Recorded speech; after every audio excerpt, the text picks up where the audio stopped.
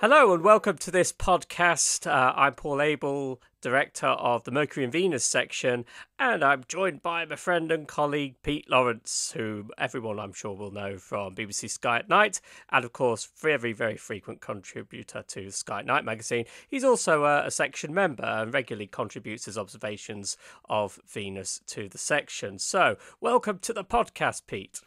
Hello, Paul. Thank you for inviting me. That's all right. No one else was available.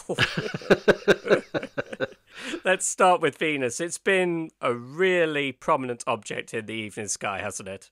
Oh, it's been amazing. It's it's a beautiful object. It's um it's one of the things I really got first interested in when I started imaging actually, um, and it, it's a bit sort of bittersweet when it comes to imaging because um, it's wonderful to see the phase of Venus when you look at it through a telescope when you try to capture it with a camera. But it's hard work getting any detail out of the planet. It is quite a difficult planet to get detail at, uh, both visually as well. I mean, if you're going to uh, visually look at Venus, you need to be sort of sensitive towards the bluer end of the spectrum because that's where the markings lie. And the images that show the most detail on Venus, of course, are in UV, which isn't easy to do.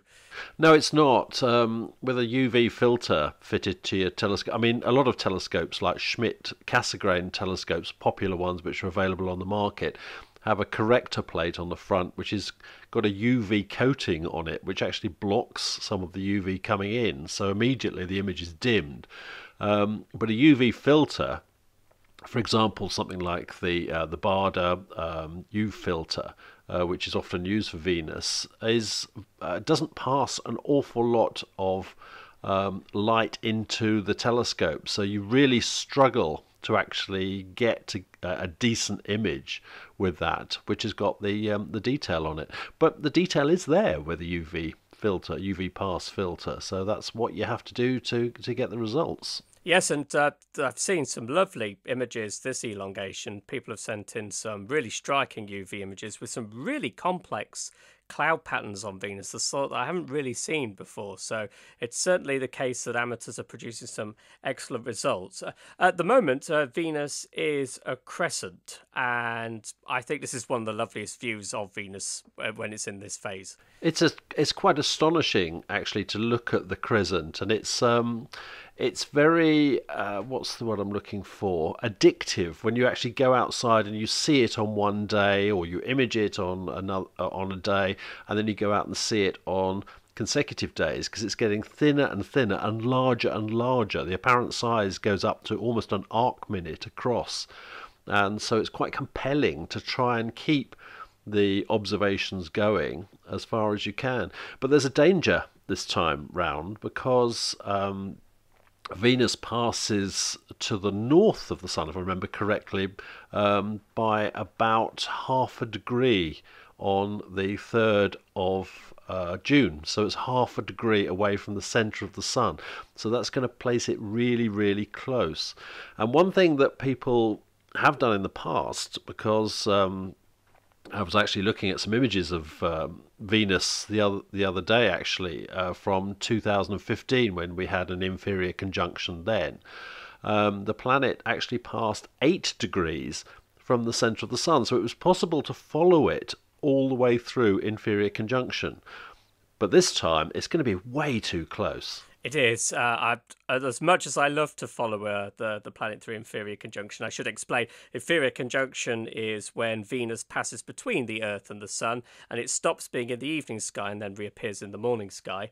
Uh, it's a great thing to do because you you get this this phenomenon called the extensions of the cusp caps, uh, and they appear to form these thin needles of light that can extend all the way around the disk, and it's good fun to watch them tilt over as the planet passes through inferior conjunction. But it's not a good idea to do that this time, is it? Well, in theory, you can do it. But we should put a warning out that anybody that does try to do it does it at their own risk because basically, um, if you want to start to see the cusp extensions going round the edge of the planet, uh, you need to probably be within about two and a half degrees from the sun. So that's getting pretty close. I can remember I actually caught um, the full atmospheric ring. Uh, it's the only time I've managed to do it Um, well, there was another time when I nearly, I'll explain that in a second, um, but there was a, a, time when I did manage to get uh, the full atmospheric ring when uh, Sky and I went out to Svalbard to image um, the transit of Venus back in 2012. And I can remember being very awkwardly positioned kneeling down on a gravel drive. Um, that was not very nice on the knees, um, with a, a, cloak over my head, trying to locate Venus, and just managed to sort of catch it. And I've got the full atmospheric uh, ring that you can see there. Um, but that was quite dodgy. It was really, it was so close. You had to sort of look in the front of the telescope to make sure that the light passing down wasn't actually going, and it was passing down the front of the telescope, it wasn't going right the way down to the bottom where the camera was. Because that would have damaged the camera. That's cutting it really fine. Yes, it, it absolutely. Uh, and I I was mentioning the other time, um, that was back at the previous um, transit of Venus back in 2004. And I actually did manage to, to get a nice shot through my refracting telescope at the time. And I, I was sort of taking images to try and locate Venus in the frame, and um, in between, because it's the safe thing to do, I was putting the front cap on the telescope. And I managed to get a shot, put it on the computer, looked at it, oh yeah, there it is, and went outside and took loads of other shots so I could stack them all together and I forgot to the, take the cap off the front of the telescope, so I only actually got one shot of it. Well, at least you have it. I mean, it's something I've always wanted to see. I've never actually seen it visually, so it's uh, on my list of, of, of, things to try and observe. Uh, of course, the 2012 uh, Venus transit.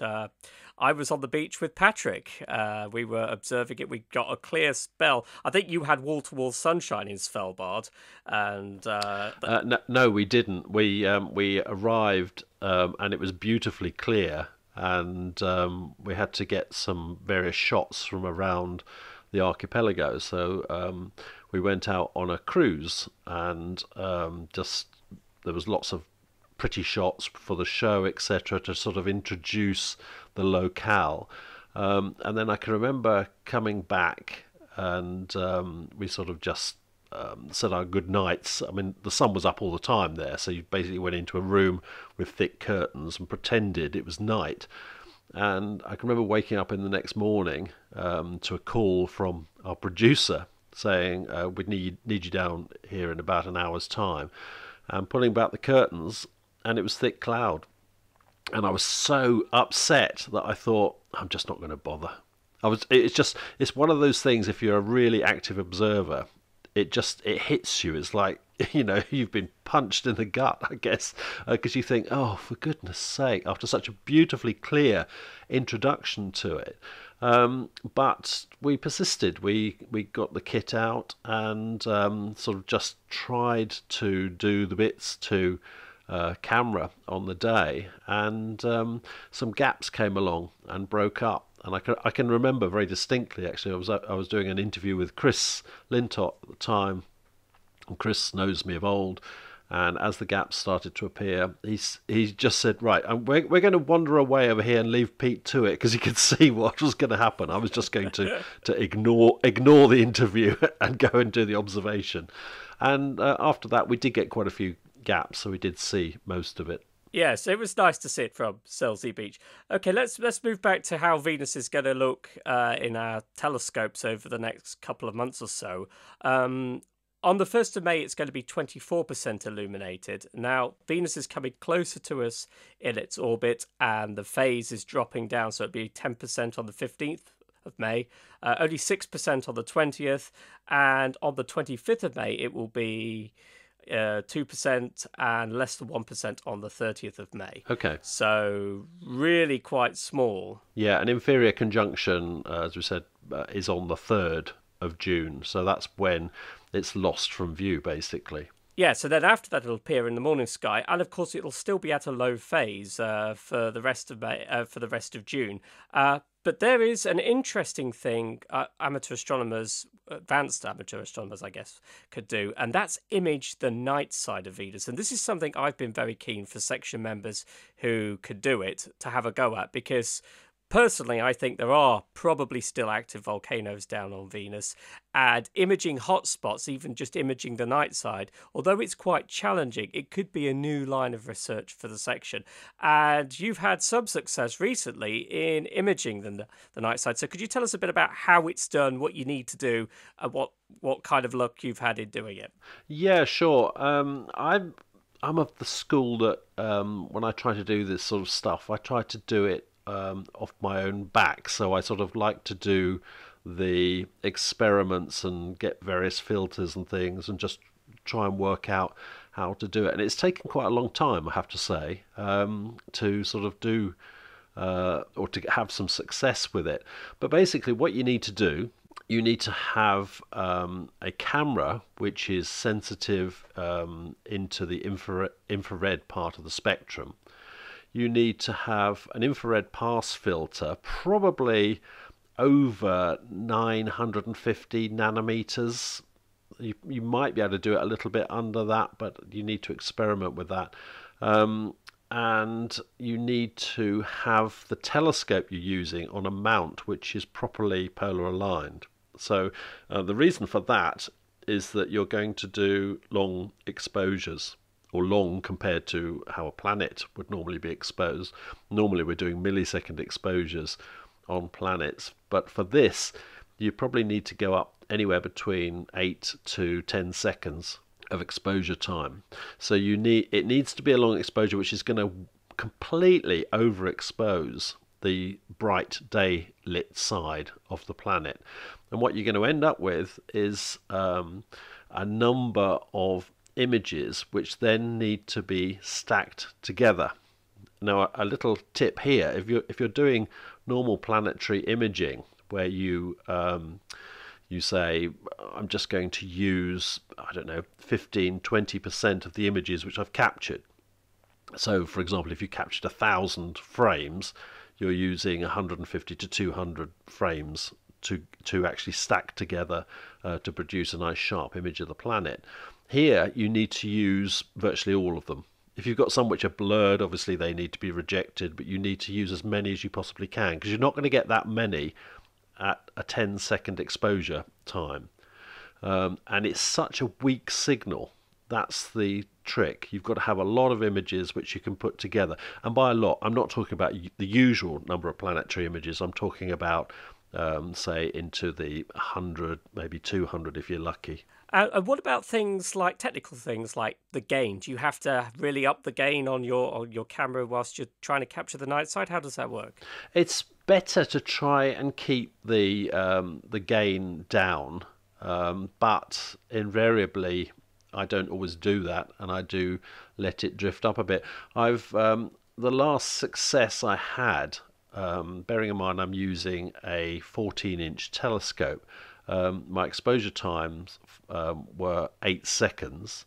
Uh, I had my gain set to 29%, and um, the gamma was adjusted slightly as well. It was 59%, so just up a little bit from where it would normally be. It's normally set at 50. So that actually got me with 100 frames. I captured 101 frames. Um, it actually revealed the uh, night side for me fairly clearly. Now, the camera I was using for that was. Um, it's getting very technical here, but it was the ZWO ASI 224 MC, which is a color camera, which is very um, good at capturing infrared uh, the infrared part of the spectrum. The big problem with it is that it it also um, generates a, a, a, quite an odd pattern in the camera when you do long exposures with a bright object like that. So it looks a bit like a Christmas bauble uh, when it's actually done its stuff. So you need to be careful that um, some of the, the artifacts which are created in the camera don't get misconstrued as features on the night side. Uh, the last with the settings I've just described, I I think I was overexposing on the day side. So again, the iterative process of learning um, will have me reducing that and trying to get more um, frames to bring together. So give me a stronger signal, uh, but less intrusive uh, or intrusion from the overexposed part of the crescent. Right. Oh, okay. Well, this is uh, well, perhaps one way of reducing the the, the errors to see if the, there are artifacts in there or not is to take uh, some images over the course of an hour. So if there is anything in there uh, that still persists, it, it's likely to be a, a, a, genuine surface feature rather than just a processing artifact. That's true, except that you have to obviously um, you've got your time limited on when you can take the shots because the sun does need to be below the horizon for you to try to capture the um, nighttime stuff ideally. So typically the guidance there is for about five degrees below the horizon. So that limits how long the planet will be above the horizon, especially as it's starting now to move back in towards the sun. It's no wonder then that there aren't lots and lots of images of the night side of Venus. It does seem like quite a challenge. Yeah, that's right. Um, I should also point out, actually, I've been having a chat with Anthony Wesley um, about filters. Um, he, he, I think, believe he uses the Edmund Scientific um, f- filters for this. I'm, I'm using um, it's quite embarrassingly cheap actually for an astronomical filter. It's about thirteen pounds. It cost me. Um, that's the kind of filter I like, and that's a um, a one micron filter, um, which came from a company who I can't remember at the moment. I'll have to dig those details out, and you can uh, you can put them somewhere yeah. for people to uh, to locate. Hopefully, a number of amateurs will try to image the, the night side as Venus goes into the, continues in the crescent stage into the morning sky. But there's still a good opportunity to follow Venus in the morning sky into UV images. And I'm told one of the most difficult things with that is to focus the uh, the camera for, for imaging for UV imaging. Is that the case? Oh, it's horrendous. It's really difficult because um, you're still subject to the vagaries of atmospheric seeing. And I don't, I don't know. I think visually you might have an advantage there because it's it's slightly easier to snap to what you believe is a is a focused view of um, Venus, but with imaging because you're often working at a reasonable image scale, um, it, it, you can just wander slightly through focus or or slightly out of focus the other side, and it because the atmosphere is wobbling things about. It's very difficult to determine where the actual point of focus is. It's similar to solar, actually. Um, sometimes when you're doing solar imaging, you can see um, that places where the sun looks like it's in focus as you're adjusting and you lock onto that position, and then suddenly the seeing adjusts itself, and it's completely out of focus. And you think, oh, and then you rewind it to get that position, and then it'll wander off somewhere else. So it's sort of this constant motion in the atmosphere on these really um, a sharp, bright planet like Venus seems to make it really difficult to actually get achieve focus. Yes, I have heard this. Uh, I, one of the things I obviously being a visual observer, uh, when the seeing is good, you actually you, you get a nice sharp image of Venus, and you could draw in the Terminator. So measuring the phase uh, of Venus, I actually do from drawings rather than images because even in a good sharp image, the Terminator itself could be very, very shaded and quite difficult to. It's not a hard boundary; it's quite soft. And again, I suppose that's linked in with what you're saying about uh, imaging and focusing at imaging. Yeah, and don't forget that um, if you're working with UV, you're at the extreme blue end of the spectrum or beyond the blue end of the visual spectrum. Um, and it's the, the short wavelengths which are affected quite badly by seeing um, the longer wavelengths towards the red end of the spectrum are are less affected. So you tend to get a sharper image with that. Um, so it, it is it is a tricky thing to get right Okay, well, we've talked here about some quite technical things that amateurs can do, quite advanced stuff. Let's move to some more basic stuff because we have a couple of nice events that require nothing more than a pair of eyes coming up. And the first of those is Venus and Mercury are going to be close together in the sky in May, uh, the evening sky. So this is a good chance to find Mercury if you've never seen it before. In actual fact, a lot of people haven't seen Mercury, particularly if they live in towns because it's very low down. So we have a nice encounter with Venus and Mercury coming up towards the end of May. We do indeed, and this is going to be quite good because um, Mercury is going to be quite bright um, and it's going to get very close to Venus. So, so long as the clouds play ball, we've had some fantastic clear weather of late. It's as I say that it's raining outside at the moment. It is. As soon as it's quarantine time, all of the weather goes wonderful. um, but it's it's sort of uh, the the critical um, time is going to be from about the 20th of May. So um, on the 20th of May, uh, they're going to the planets are going to be 3.3 degrees apart. So Venus is going to be magnitude minus 4.2, and Mercury is going to be minus 0.7. So that's pretty bright for Mercury. Um, and then on the 21st of May, evening of the 21st, they're 1.4 degrees apart. And then on the 22nd, when they're at their closest, they're 1.3 degrees apart. So, uh, and it's still quite bright actually on the, the 22nd um, because Mercury will be mag- minus 0.5 at that time. So, if we do get clear skies, it should be a great opportunity to see see Mercury. Yes, I always find Mercury visually to be slightly orange when when seen, either with the naked eye or I've only seen it through a telescope once actually, uh, uh, which is why our Mercury coordinator Chris Hooker deals with Mercury, not me, because he has a lot more experience of observing it than I do. But do you, do you find it's this orange colour? I do know what you mean. Um, it's slightly, I think, how would I describe it? A slightly pinky hue to it. That's how I would describe it. Um, I mean, I've seen Mercury quite a few times, um, and I've imaged it during the day, um, which is the best time to do it, to be honest, because it's high up then, because it never gets that far from the sun, so it's always being affected quite badly by um, low atmospheric seeing. Um, so if you catch it during the day, that's a good time to capture it. And actually, on the 22nd of May, when it's really close to Venus, um, then that's probably a good time if you can locate Venus in, in the day to try and get a, a shot of Mercury. Mercury will be pretty small, it'll be about a tenth the size of Venus, uh, about six arc seconds across, and it will be showing a phase of 67%, so a gibbous uh, Mercury at that time. Um, but that's that's when it's high up in the sky and you've got Venus nearby, that's a good way to locate it. That's a lot of fun, you know. This um, we're talking about sort of uh, locating and the, the, visual views and whatever, but it is quite a lot of fun locating these planets during the day. I know you've done it a few times, haven't you? I do, I do. It's actually how I prefer to observe Venus. Um, I'm quite lucky when Venus is fairly bright. I, I can see in the daytime sky with no difficulty. Otherwise, I offset from the sun. But I, I do like the added challenge uh, of, of, you know using the setting circles, offsetting from the sun, and then getting Venus that way. Um, I, I've yet to do it with Mercury, but I think it will be my preferred way of doing it. But as you say, Pete, it's a good challenge to, to do, providing we're safe. Well, it's one of those things that I've you know I've done it in the past, um, and you locate Venus and you think, crikey, that was hard work, and then you sort of line up the telescope and whatever if you're doing it visually, uh, and, it helps bizarrely if there are a few sort of puffy clouds in the sky because you can use those as reference points once you've seen it. Yes, um, they help focus your eyes.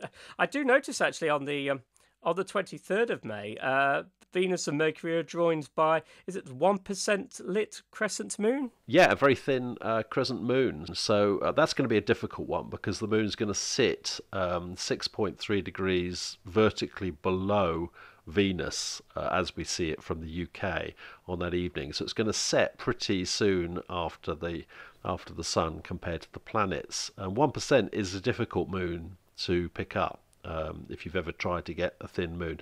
But on the um, on the 24th, then the moon will be a bit further into its phase cycle, so it should be um, it should be much more obvious. In fact, that'll be the last opportunity we get for this apparition of Venus to have a crescent moon nearby. It's not going to be as dramatic as it has been when um, Venus and the moon have been higher up in a dark twilight sky. This is going to be in a bright twilight sky because Venus is going to be really close to um, the sun point at that time.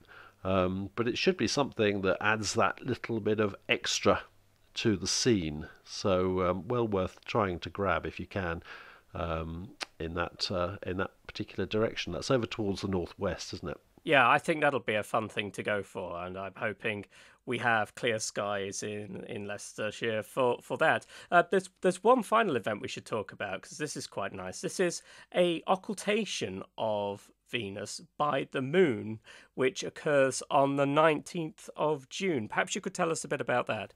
Well, these are, are fascinating. I remember my first ever lunar occultation of Venus. It was a virtually completely cloudy sky. There were a few gaps, and it was a real struggle to actually get the moon through the telescope and then focus it and then pick out Venus. And that was magical to actually see it because the thing which people don't really appreciate is the fact that Venus is a lot brighter than the moon.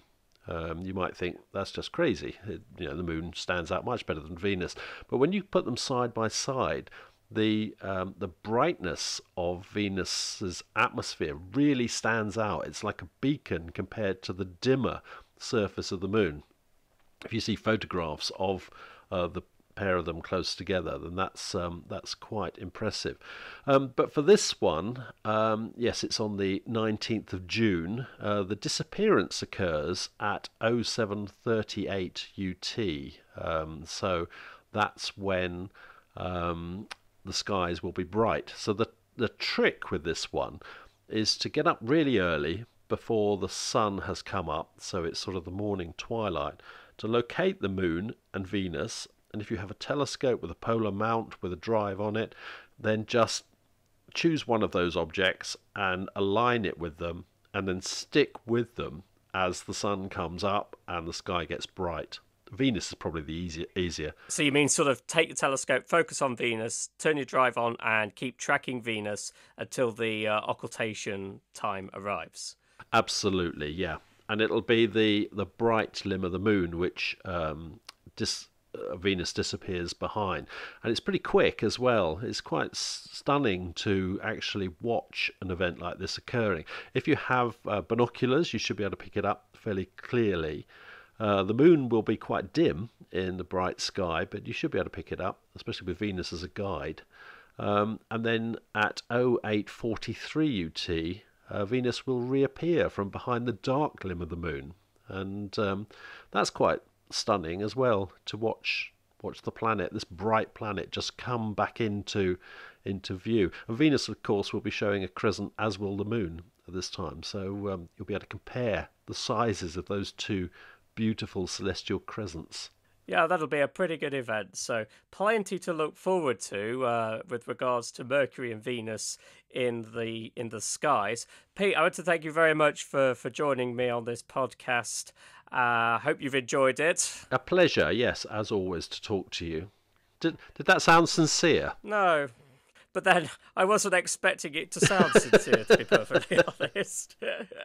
and thanks for yes, so thanks for doing that. And if anybody watching has any questions, they can email myself uh, or Chris Hooker, who is the Mercury coordinator. And until next time, goodbye.